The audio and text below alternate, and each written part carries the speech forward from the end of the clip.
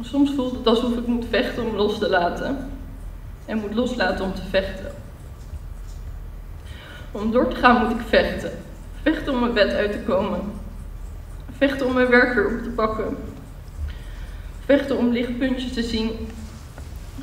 En vechten om na elke terugval weer op te staan.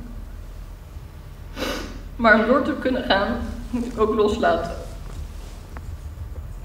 Maar ik wil niet loslaten. Ik wil Carlo niet loslaten.